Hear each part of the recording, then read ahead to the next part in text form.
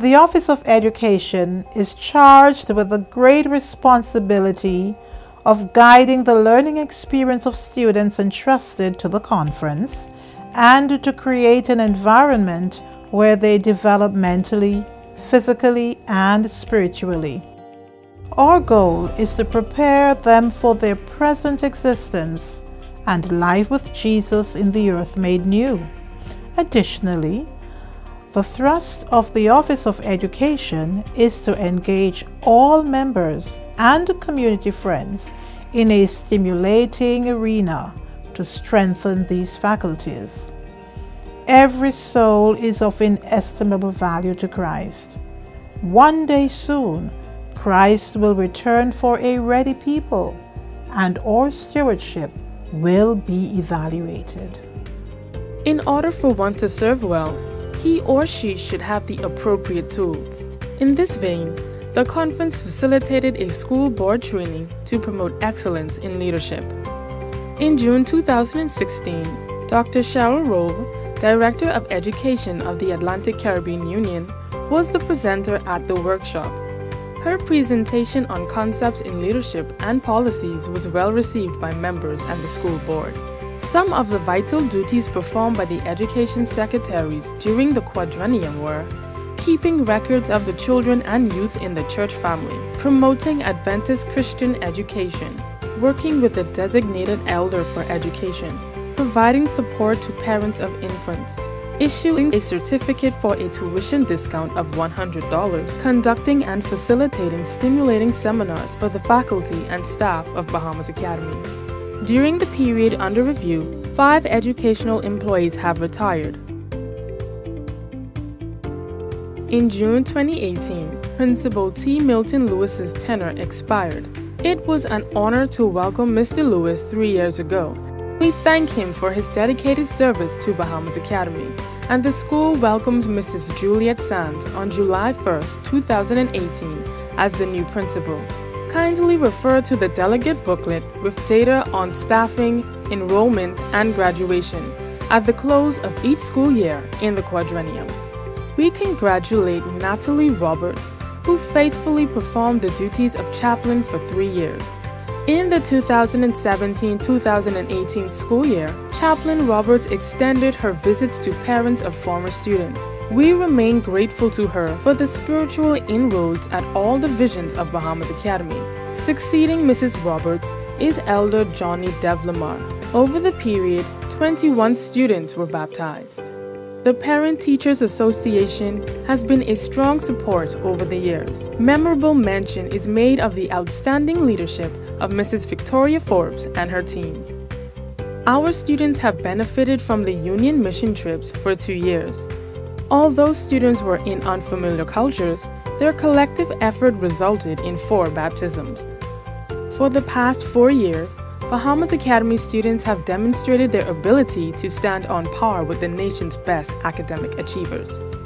Bahamas Primary School Student of the Year Foundation awardees Sylvie Garcia, 2017 semifinalist of a $1,000 scholarship, and Aiden Gibson, 2018 finalist of a $1,500 scholarship. We continue to examine and source methods to increase the percentage in the AC passes.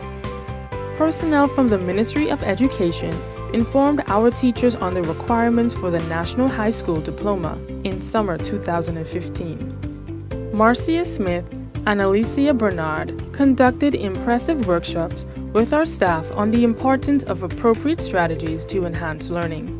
With the nation's focus on pre primary education, our school sought to give additional support to our Early Learning Center. We engaged in the services of Leah Burrows from the Ministry of Education. Professional development affords educational staff the opportunity to improve instruction and impact academic achievement in a positive way. Our staff engaged in a number of activities that facilitated professional development and the union wide Teachers Retreat which took the form of a cruise to Key West, Florida and Cancun, Mexico during March 26 to the 30th, 2018. Our conference was blessed to inject over $38,000 to make this a reality for our well deserved teachers. A compelling and essential project that has been the focus of the Office of Education is to complete the Christocentric curriculum guide in each subject area. One of the goals is to see enhancement in oracy, literacy, and numeracy. It is noteworthy to mention that the Office of Education in the South Bahamas Conference through the Atlantic Caribbean Union has teamed up with other fields in the Union to undertake curricular writing. Bahamas Academy, under the supervision of Dr. Lavonda Smith, completed the science curriculum and is now ready for scrutiny. The long awaited move from Wolf Road to Marshall Road was realized in the last quadrennium. Though having occupied the Marshall Road campus in 2011, the occupancy was only temporary. This resulted in the school not having a fire suppression system. This system has been installed to the remarkable joy of the constituents. We are grateful for the gift of the conference and the coordination of Winston Simonet, Vice Principal with responsibility for physical plant, then Principal Milton Lewis, and the fine engineers and laborers who made this project a success. We now await the electrical work to move to completion. The office oversees the largest active church of approximately 800 members. The school board is charged with moving the institution from a three year accreditation to a five year accreditation.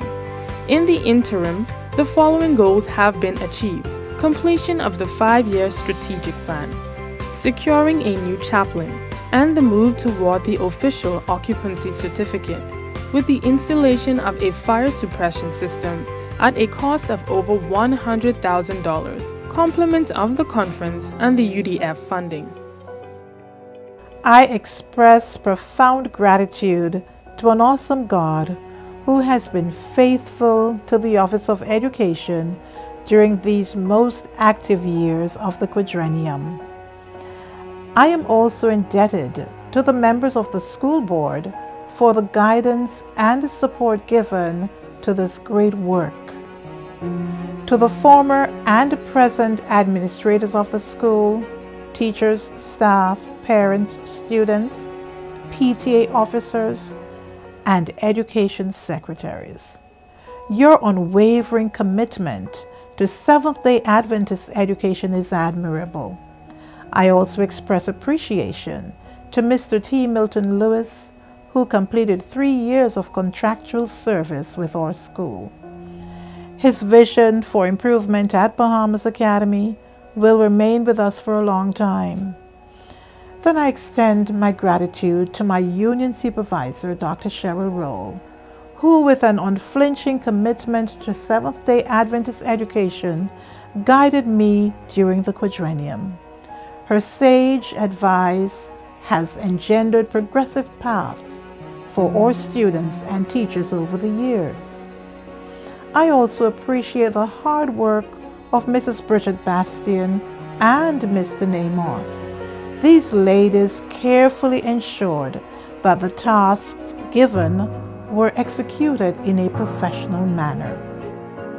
As we look to the future, let me remind you that God desires the best for His children.